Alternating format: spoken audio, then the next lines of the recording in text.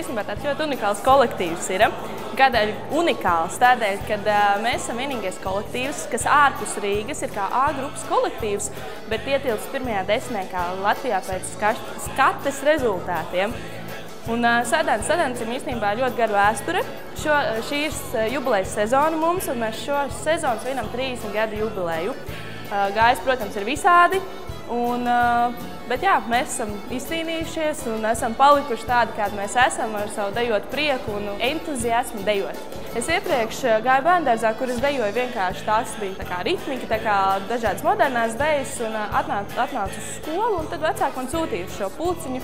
Un, uh, tas pat likās tā pašsaprotami, iet un dejot. Un man tas nelikās tā kā varbūt kādreiz dažiem, kur liekas, ah, man ir jāiet uz mēģinājumu. Nē, man tas bija tā, nu kā, nu ir jāiet un ir tak forši un dejot un dejot man vienmēr ir paticis. Un cik es atceros, kaut es biju pavisam maz, es tomēr vienmēr esmu dejojusi. Finansējums mums bija nepieciešams, jo mēs pārgājām no B grupas uz A grupu.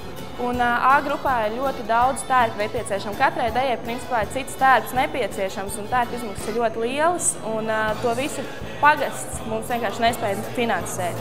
Tādēļ arī mums bija jāmeklē alternatīvas, kur mēs vēl varam papildus iegūt finansējumu, lai dabūtu tērpus. Finansējums jau sākotnēji tika paredzēts nevis tieši tērpu gatavošanai, bet auduma aušanai. Tas bija kā, tas pirmais, ko mēs uh, uzskatījām, kas ir nepieciešams, ka mums ir vajadzīgs audums.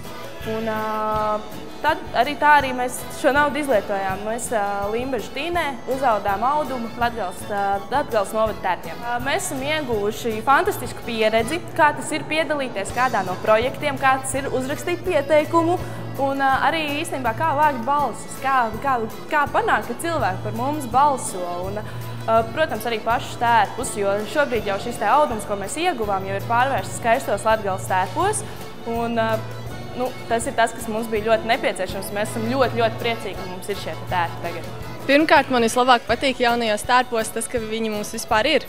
Jo pirms tam mums tieši Latvijas tērpa nav bijis, un mums vajadzēja aizņemties no citiem kolektīviem. Tāpēc tagad mēs jūtamies ļoti labi, ka varam dejot paši savos pirmajā reizē, kad uzvilkām, tad bija tāda svētku sajūta, ka beidzot jā, mums pašiem arī ir savi tērpi, skaisti, balti. Un uz skatuves tiešām izskatīsimies lieliski. Šajos tērpos ir baigais entuziasms, dejot. Viņās ir uh, uzreiz gaišums sirdīs un uh, smaids un, un, un, un baigais jāstrums. Esmu iegūst jaunu skaistu latgals tērpu. Un arī pieredzi vācot balsis, jo Tas bija ļoti interesanti vākt šīs balsis, jo tā cilvēka atsaucība patiesībā bija ļoti liela.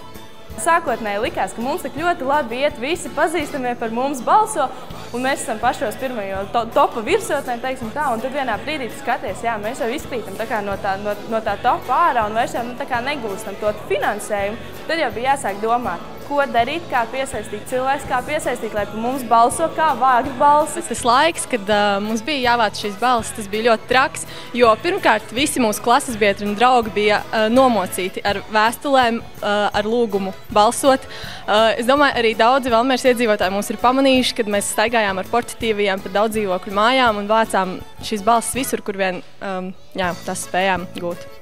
Es sapratu, ka man ir ļoti lieliski draugi un ļoti liela ģimene, jo viņi visi tika iesaistīti tajā pasākumā. Tiešām visi atceros pēdējo nakti, visi ļoti aktīvi apzvanīja visus, kas vēl varētu nebūt nobalsojuši un tiešām centās savākt visas iespējamās balsis. Pie vieniem kolēģiem mājās uz grīdas bija kādi četri datori. Un uh, visi sekojām līdzi un pusnaktīgi tie rezultāti. Un, un, un, uh, Mēs skatāmies, it kā ir, bet tajā pašā laikā ir jau pāri pusnaktī. Vēl tie kaut kādi skaitlīši skaitās, un tad iekšā ir tā bišķiņa tā drabošā sirds, nu būs vai nebūs, vai gadījumā kādam tomēr nepieskaitīsies vairāk, un vai mēs neizskatīsim. Bet viss bija kārtībā, un tad jau bija tāds pirmajā brīdī īstenībā atvieglojums. Jo tajā pēdējā dienā tiešām tas bija ļoti liels darbs. Mēs ļoti daudz balsis savācām tajā, tieši tajā pēdējā dienā. No sākuma bija tas atvieglojums, jā, mēs to izdarījām. Protams, pēc tam jau prieks, un tagad jau velkot šos skaistos latgales tērpus, Esam priecīgi, ka mums beidzot pašiem ir šāds skaists un tomēr ir nozīmīgi tētus. Nu, ja projekts ir tas, kas uh, tomēr papildinās gan jūsu dzīvi, gan arī kādam citam dzīvi, tad kādai šaubīties? Pamēģināt mēs varam visi.